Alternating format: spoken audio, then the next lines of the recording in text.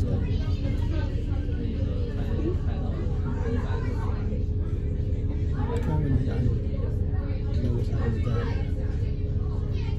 didn't realise that was today, you didn't tell me.